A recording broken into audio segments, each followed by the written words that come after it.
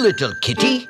Please put that plastic waste in the recycle bin, not the regular one. Oops, my mistake. But why it matters? That's a great question. To understand, let's think about an important issue. What would happen if we stop recycling altogether? Zoom in! Imagine waking up one morning and realizing all the recycling bins had disappeared. No recycling drives at school. No separating bottles and cans from regular trash. At first, it might even feel like a relief. Everything could go just into one bin and you wouldn't have to think twice about it. But once that short-lived convenience fades, things will start going for a toss. Let's see how. First, consider the sheer amount of trash we already generate. In the United States alone, people create more than 292 million tons of waste every year. Recycling diverts a large portion of that and gives it a second life. Without it, every soda can, milk jug, newspaper and cardboard box would be dumped straight into landfills. Those landfills would fill up faster than ever, forcing cities to push them farther into natural areas. Globally, the problem only gets worse. Waste is already projected to reach 3.4 billion tons by 2050. And without recycling, that figure would balloon even faster.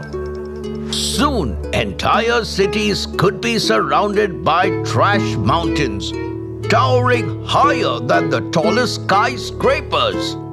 Plastic makes the situation even more troubling. Every year, more than 8 billion tons of it end up in the ocean. Recycling slows that blood. But if it disappeared, marine life would pay the price. Turtles could mistake bottles for jellyfish. Birds would choke on plastic bags and tiny fragments called microplastics would slip into the food we eat and the water we drink.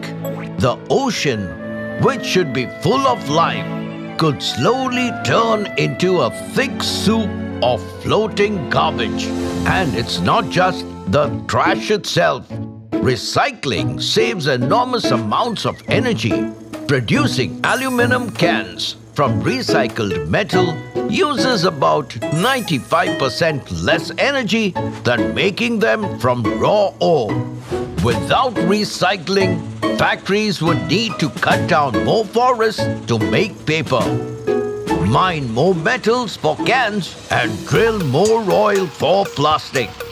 That would release even more carbon dioxide into the atmosphere worsen climate change and shrink the forests that naturally absorb greenhouse gases.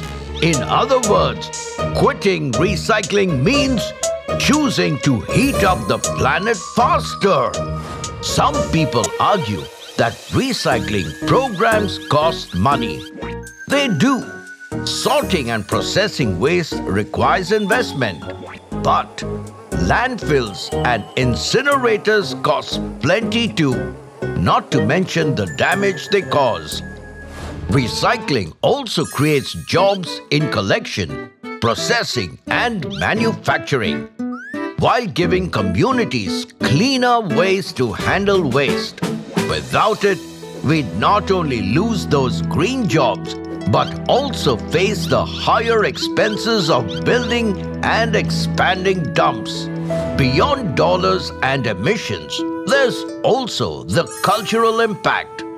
Recycling reminds us that our choices matter and teaches both kids and adults that trash doesn't just disappear. Without that lesson, future generations may grow up believing waste is harmless, eroding a culture of responsibility and replacing it with one of convenience. So, if recycling vanished tomorrow, we'd lose more than a chore. We'd lose cleaner oceans, healthier forests, green jobs, and a habit that keeps us connected to the bigger picture. Trivia time! Did you know only 19% of waste worldwide is formally recycled? Yes, about 37% is landfilled, 33% openly dumped, and 11% incinerated. Sketching time! Today's sketch of the day goes to Zinedine Hamze. Hope you'll recycle today. Until next time, it's me, Dr. Binocs, zooming out. Kitty, do you remember where I left my headphones? They were really old, so Kitty tossed them into the recycling bin. Oh, never mind.